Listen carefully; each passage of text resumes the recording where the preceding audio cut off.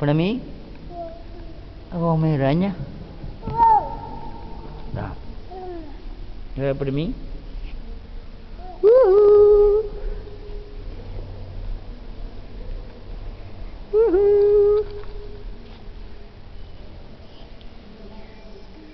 Bye. Ciao.